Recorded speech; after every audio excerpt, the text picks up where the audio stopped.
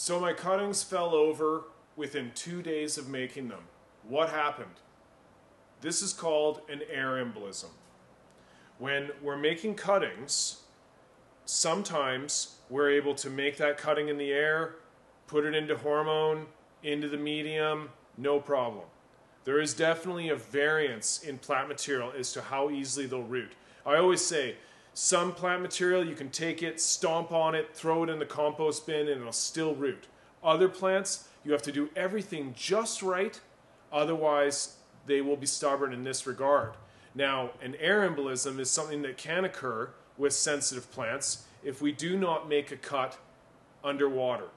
So what we can do is make a cut, put the plant directly into water, put it into a, say, a glass Pyrex baking dish with a couple inches of water in it, and make a second cut under the water, leaving it in that water for a few minutes so that water is the first thing that goes up inside that stem.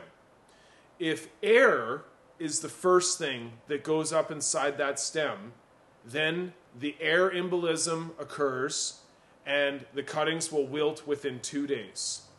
So if you make cuttings and you see they're all falling over within two days of that process, you know that you have a strain that is sensitive to air embolism. And the next time you make cuttings, if you want a higher success rate, you're going to have to make that second cut underwater and allow them to stay in the water for at least a few minutes in order to ensure that water is the first thing that goes up that stem.